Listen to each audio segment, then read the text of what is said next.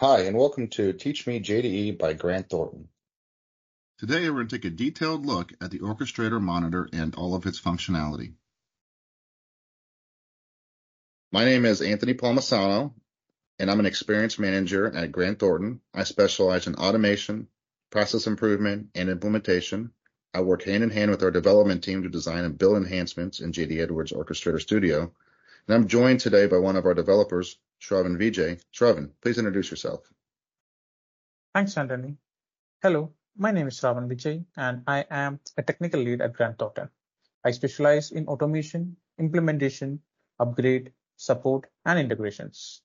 We here collaborate to develop solutions, integrate, design, and build enhancements in JD. Okay, thanks, Shravan. Let's go ahead and jump in the system and have you give us a quick demo. Let's jump into a demo session right now.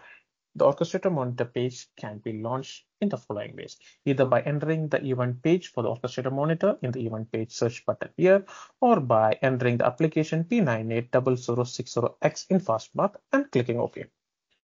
Once the orchestrator monitor page is launched, it gives us the details on health and exceptions in three different tabs. The health tab, the exception tabs, and the run details tab. Let's go in detail of each tab. The top right of the page displays the overall successes and failures in your orchestrations and notifications. The Health tab displays information about the performance of each UDO in a summarized form. We can also use the filters, show all, failures, and success to display the data on the grid accordingly. We can also click on the refresh button to load the latest data. On the health grid, we have the below details, the name, which represents the name of the UDO, and also it shows whether it's an orchestration, a notification, or a REST API. The health last 10 displays a bar chart that shows the last 10 instances of the UDO that has been executed. The green bar says it's a success and the red it says it's actually ended in error. The success rate shows the overall success rate of the UDO. There are also details about the shortest run, the longest run, the last success, last fail, and the average number of runs per day. We can also see the detailed information of the health if we expand the grid below. Now let's move to the exception tab. The exception tab displays information about exceptions that has occurred with the UDO, the orchestration components, notifications, and the REST APIs. Exceptions can be occurring for many reasons. For example, invalid inputs, data type conversion errors, exceptions from a Groovy script, parsing error, and many more. There are also several search uh, options and the ranges that is available by which we can filter out an exception. For example, we can use a custom range where we can give a date specific range of date and time.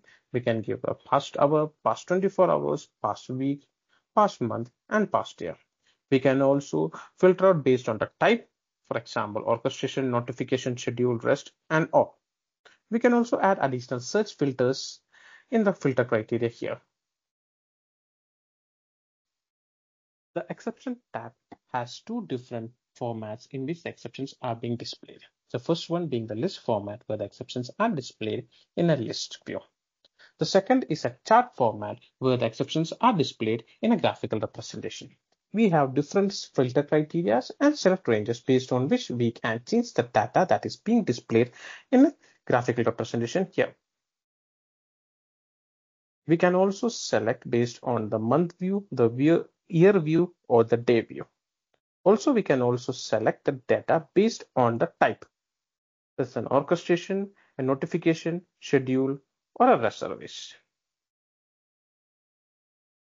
We also have details on each and every exception that is caught in the orchestrator monitor in this graphical representation. We can also click on a bar on the bar chart, which will take us to the specific exception that is captured. Let's return back to the list view. All right, since we are back to the list view, let us discuss in detail. The list view displays the general information about orchestrations, notifications, and schedule exceptions. In the grid, we have several exceptions that is listed out. Let's see. The request received tells us about the date and time when the exception has occurred the name indicates the name of the UDO. The icon next to it indicates whether it's an orchestration, a REST service, a notification, or a schedule. The exception tells about the name and details of the exception. The status tells us about the HTTP status that was returned for the orchestration or notification that was being called. Additionally, we also have the username, the environment, and the product code. We can also view additional details of the exception by expanding each row. We also have few additional features, for example, the step trace. This is only applicable for orchestrations only. This can be used to view details about each step in an orchestration. The input JSON, this can be used to access and view the JSON input that is passed in to the UDO.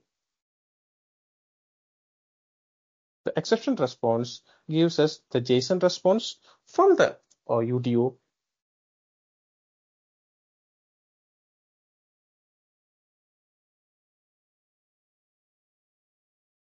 And the, uh, finally, there is a message option which has been added in the release 9.2.6.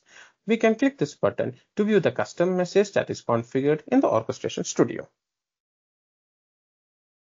or the exception. We also have additional details such as UDO name, host address, role, the host name, the URL, the total processing time, the method used. Also, we have additional uh, information known as the exception ID. Once we click on the exception ID, it takes us to a new application for orchestration exceptions, and we can view the related exceptions related to that exception ID.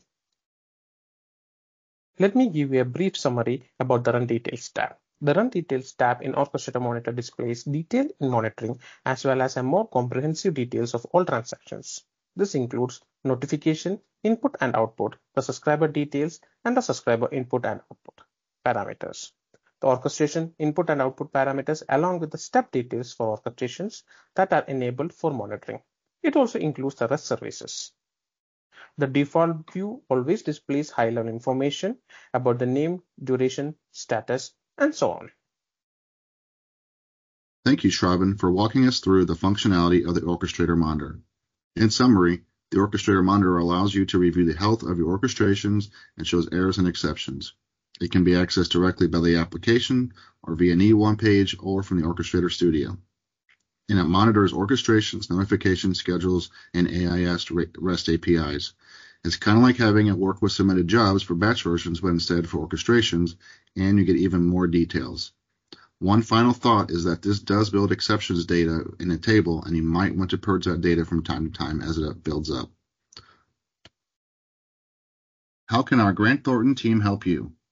We offer multiple services to assist with your JD Edwards install or implementation, anything from a multiple day orchestrator training session to optimizations and enhancements of your current install and full blown JD Edwards implementations.